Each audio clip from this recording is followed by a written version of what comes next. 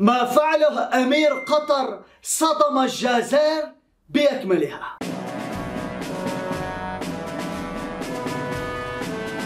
مرحبا معكم بالبيس باسل شك. إن شاء الله انكم بخير جماعة بصحة وبسلامة. بهذا الفيديو رح نحكي عن موضوع هام جدا يا جماعة. بهذا الفيديو رح نشوف ما فعله أمير قطر صدم الجزائر بأكملها. فما هي القصة؟ وأيضا عنا موضوع هام الجزائر تفشل في إدراج الصحراء المغربية داخل مؤتمر في إيران والتفاصيل مثيرة. قبل ما تبتدي الفيديو لا تشتركوا بقناة فعل زر الجرس نضل دائما توصل تحط لك يا جماعة خلي الفيديو ينتشر. خلينا بشر السلام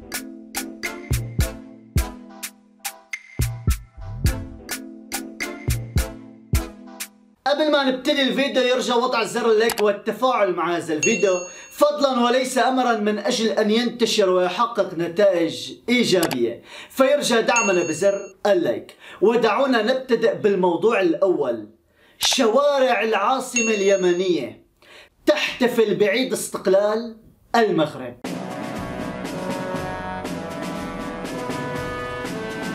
بمناسبة احتفال المملكة المغربية بالذكرى السبعة وستين لنيل الاستقلال من المستعمر الغاشم انتشرت لوحات شكر وتقدير للمغرب في شوارع عدن العاصمة المؤقتة للجمهورية اليمنية وكتب على الصور المعلقة في لوحات ضخمة في الشارع عبارة شكرا للمغرب وبجانبها صورة للملك محمد السادس وبخلفية بها العلم المغربي. ويعتبر المغرب من الدول التي دعمت دولة اليمن في محنتها بل وكان في طليعة الدول التي ساعدت الجمهورية اليمنية عسكريا ضد ميليشيات الحوثيين المدعومة من طرف إيران للمس بأمن اليمن وزعزعة استقراره. هذه كانت البادرة الأكثر من رائعة التي أتت من اليمن. دعونا الآن ننتقل إلى ضربة موجعة تتلقاها الجزائر. الجزائر تفشل في إدراج نزاع الصحراء المغربية في إعلان مجموعة أصدقاء الدفاع عن ميثاق الأمم المتحدة.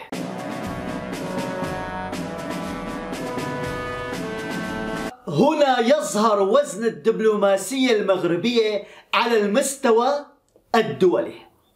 بعد فشلها في إدراج قضية الصحراء المغربية على جدول أعمال القمة العربية الأخيرة. عانت الدبلوماسية الجزائرية من نفس الانتكاسة خلال اجتماع مع حلفائها المجتمعين ضمن اجتماع مجموعة أصدقاء الدفاع عن ميثاق الأمم المتحدة الذي عقد في إيران ويثير هذا الغياب العديد من التساؤلات. خصوصا وأن هذه المجموعة التي تم إنشاؤها في إبريل 2021 تتكون أساسا من الدول الصديقة للجزائر والتي يعترف بعضها بالجمهورية الوهمية مثل نيكوراغوا وإيران وزيمبابوي وفنزويلا. وكوبا. وتضم المجموعة إلى جانب الدول الأفريقية والآسيوية عضوين دائمين في مجلس الأمن التابع للأمم المتحدة. هما الصين وروسيا. وتعتبر روسيا عضوا في مجموعة أصدقاء الصحراء المغربية إلى جانب أمريكا وبريطانيا وإسبانيا وفرنسا. يبقى السؤال الآن هل رضخت الجزائر لضغط صيني روسي؟ وتحرص الصين على الحفاظ على علاقاتها السياسية والاقتصادية مع المغرب.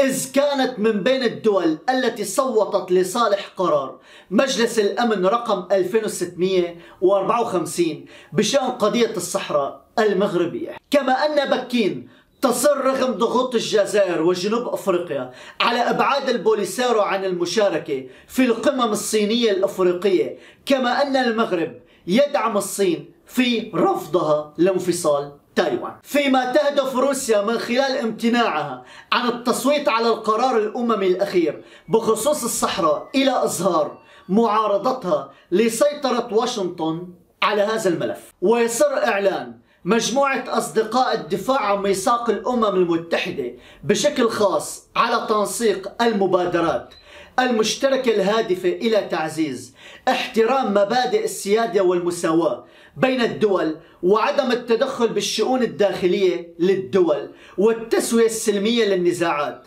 وحظر التهديد باستخدام القوة أو استخدامها ضد السلامة الإقليمية أو الاستقلال السياسي لأي دولة على النحو المنصوص عليه في ميثاق الأمم المتحدة. ومقابل تجاهل المشاركين في اجتماع طهران لقضية الصحراء أكدوا على دعم سياسة النظام الإيراني. وعلى هذا الأساس نحن نتكلم عن انتكاسة كبيرة أصابت الجزائر وفي عقر دار إيران. وعلى ما يبدو الصين وروسيا قلبات طاولة على الجزائر. نعيدها. هنا يظهر وزن الدبلوماسية المغربية. الآن وبما أننا نتكلم عن هذه المؤتمرات واللقاءات لابد أن ننتقل إلى تونس. يحضرها 30 رئيس دولة وحكومة. هل يقاطع المغرب قمة الفرنكفونية بتونس؟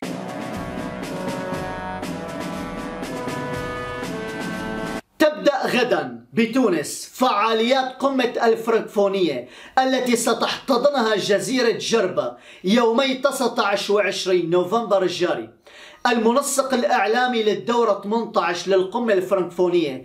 أكد بتصريح له أن 30 رئيس دولة وحكومة أكدوا حضورهم للقمة.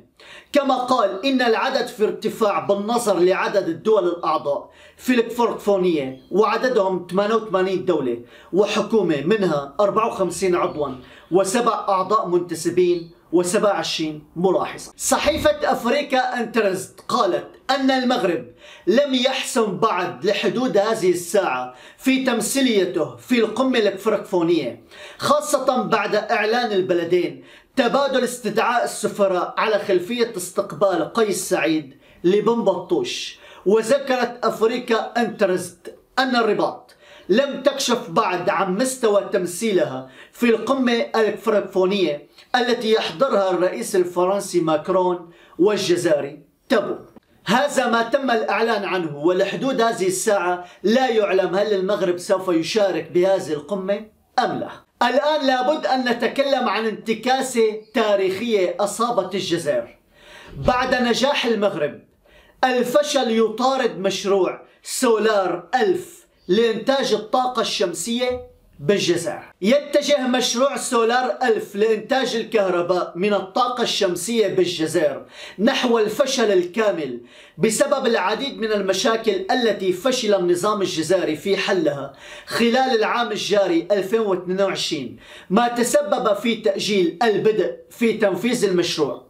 وكانت تعول الجزائر على هذا المشروع إلى إنتاج 1000 ميغاوات من الطاقة الشمسية سنوياً. يستهدف الوصول إلى 15 ألف ميغاوات من مصادر الطاقة الشمسية بحلول عام 2035 وتعد عملية تمويل المشروع العائق الرئيس الذي أوقف الشركة عن استكمال الإجراءات إذ لم ترد الحكومة الجزائرية على استفسارات شركائها لحدود الساعة. للإشارة تسابق الجزائر الزمن لإخراج واحد من المشاريع التي تعول عليها في إنتاج الطاقات المتجددة وكذلك لتقفي أثر المغرب الذي أصبح اليوم رائدا في مجال الطاقة المتجددة بإفريقيا. وهذه تعتبر انتكاسة كبيرة وغير مسبوقة أصابت الجزائر. دعونا الآن ننتقل إلى موضوع تم الكشف عنه الآن. شنقريحة يضغط على تبون من أجل أن يسافر إلى روسيا بأسرع وقت. شنقريحة يضغط على الرئيس تبون للقاء بوتين قبل نهاية عام 2022 ذكرت تقارير إعلامية أن الشنقريحة يدفع بقوة للإسراع في زيارة الرئيس الجزائري إلى روسيا ولقاء الرئيس الروسي قبل نهاية العام 2022 وحسب ذات المصادر فقد التقى شنقريحة عدة مرات في القصر الرئاسي بالمرادية لإقناعه بأهمية هذه الزيارة لموسكو التي لا تحظى بالإجماع على الإطلاق داخل المرادية للإشارة تتعرض الجازائر لضغوط غربية شديدة ولا سيما الضغط الأمريكي لحملها على النأي بنفسها عن روسيا الغارقة في الحرب في أوكرانيا حيث يرى مراقبون أن بوتين أصبح صديقا مرهقا للسلطات الجزائرية. وارتفعت أصوات عديدة داخل السراج الجزائري مطالبة بإعادة النظر في هذا التحالف. مع موسكو. ومحيط الرئيس الجزائري تبون هذه الزيارة إلى موسكو لا تثير الحماس لأن السلطات تخشى تأثيرها على الشركاء الغربيين الذين يمكنهم التحول إلى شكل جديد من العداء اتجاه الجزائر من خلال دعم على سبيل المثال الخصوم الجيوسياسيين للبلاد في المنطقة مثل المغرب. ويمكن أن يؤدي تقارب جديد بين الجزائر وموسكو إلى تحالفات غربية جديدة. بشأن المواقف المغربية مما قد يضر بتوازن القوى في المنطقة المغربية. ويدرك العديد من مستشاري تبون هذا الخطر ويدرك الرئيس الجزائري نفسه هذا الخطر.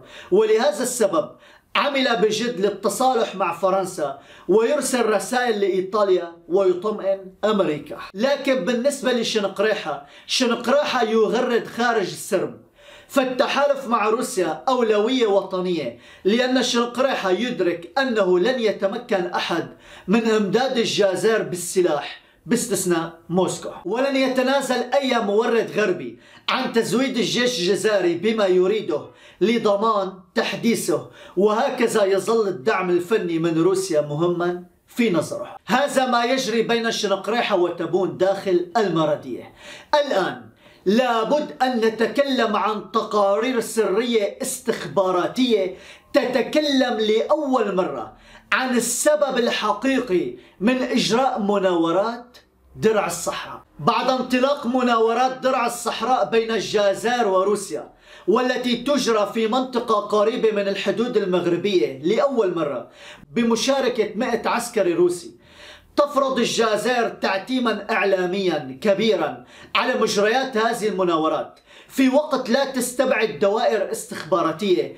أن تكون أهدافها الحقيقية مختلفة عما جرى إعلانه سابقا. من كونها تهدف إلى التدرب على مواجهة التهديدات الإرهابية ومكافحتها بالصحراء. حسب تقارير استخباراتية أن هذه المناورات وأن العسكريين الروس متخصصون في بناء قواعد الصواريخ البالستية المتطورة والمستعملة في الحرب الجارية بين روسيا وأوكرانيا. إس 400 وإسكندر وصواريخ كاليبر. وتزداد أهمية هذه المناورات من رمزية القاعدة العسكرية التي تحتضنها والتي شيدها الجنرال ليوطي مطلع القرن 19 من أجل التحضير لتفكيك الإمبراطورية المغربية الشريفة. قبل أن يتم توسيعها مباشرة بعد الحرب العالمية الثانية لتصبح خاصة ببناء وإنتاج الصواريخ الفرنسية الطويلة المدى سنة 1948 من طرف الجنرال شارل دوغول ولم تسلمها فرنسا إلى الجزائر إلا سنة 1967 أي بعد مرور خمس سنوات على استقلالها. أساسا المناورات بين الجزائر وروسيا تقام بالقرب من قاعدة عسكرية تابعة جغرافيا لولاية بشار. يعود تاريخ تشييدها إلى سنة 1903 من طرف فرنسا. ويبدو أن الروس انتبهوا الآن إلى أهمية هذه القاعدة المختصة في إنتاج الصواريخ خاصة أنها القاعدة التي انطلق منها أول صاروخ فضائي فرنسي بينما الجزائر تعول عليها لتعديل ميزان القوى مع المملكة الشريفة والرد على مناورات الأسد الأفريقي وانطلاق المغرب مع إسرائيل في تشييد قواعد لصناعة طائرات الدرون الانتحارية. وبالرجوع إلى طبيعة الخبراء العسكريين الروس المشاركين في هذه المناورات فإنهم لا علاقة لهم بالتدريب على مواجهة الجماعات الإرهابية لكون روسيا تتطلع بهذا الملف عن طريق مجموعة فاغنر. بينما المشاركون الحاليون هم خبراء متخصصون في الصواريخ الطويلة المدى وهو ما يجعل المغرب يتتبع عن كسب ما يجري في هذه المناورات إضافة إلى ضباط الناتو الذين يتابعون الأمر من خلال الأقمار. التجسسية. جدير بالذكر أن هذه المناورات العسكرية بين الجزائر وموسكو التي تحاول الجزائر إخفاء أهدافها الحقيقية أتت بعد إبرام صفقة تسليح ضخمة بين الجزائر وموسكو. هذا ما تم الكشف عنه منذ ساعات معدودة عبر تقارير استخباراتية وأيضا كما رأينا ضباط الناتو الذين يتابعون الأمر من خلال الأقمار التجسسية. دعونا الآن ننتقل إلى مونديال قطر. أسطول طائرات يبدأ اليوم في نقل الجماهير المغربية إلى قطر ترقب حضور قياسي لتشجيع الأسود.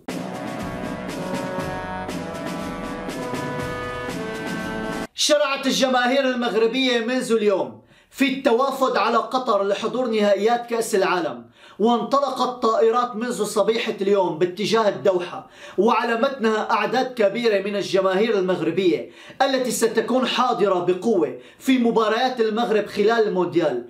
وستكون الجماهير التي ستتجه إلى قطر مدعومة بالجالية المغربية المقيمة في قطر ودول الخليج وكذلك المقيمة في الدول الأوروبية. وبدأت شوارع وأسواق قطر تعج منذ أيام بالجماهير المغربية المقيمة هناك خصوصا حاملين الرايات الحمراء بنجمتها الخضراء ومرتدين أقمصة أسود الأطلس ومرددين شعارات وأهازيج. حماسية. ومن المتوقع أن يحقق الحضور الجماهيري المغربي في مونديال قطر رقما قياسيا على غرار مونديال روسيا خاصة في ظل التسهيلات التي قدمتها الجامعة الملكية المغربية لكرة القدم بالتنسيق والتعاون مع عدد من شركائها وفي مقدمتهم الخطوط الملكية المغربي هذا ما تم الإعلان عنه منذ ساعات معدودة.